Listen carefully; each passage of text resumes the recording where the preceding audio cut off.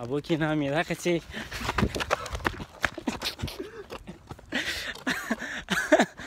Abokina me za ka ce a dangane da wannan watan ainihin sallar la'asar da kai? Da Allah kai kanka baka fi jin daɗi ba.